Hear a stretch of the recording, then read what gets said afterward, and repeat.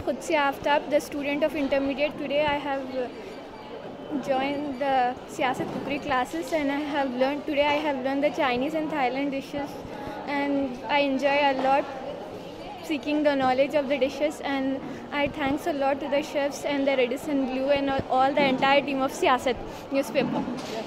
I have learned the new dishes like Chinese and Thailand dishes and soups, Chinese soups and yesterday also I have learned a lot of dishes. This is the best platform for the um, for the people of the old city because they have to go far from the old city and I think the Siasat has done very well for the people of the old city and for also the new cities also.